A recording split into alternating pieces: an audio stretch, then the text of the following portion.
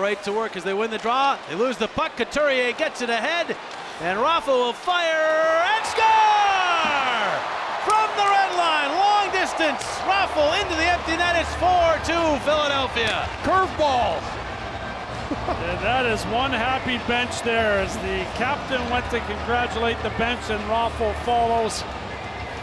Outstanding job by Michael Raffl. Made sure he got that puck up to the red line. I believe he had it over the red line when he shot it in, but I think that was the plan. Let's see if he did.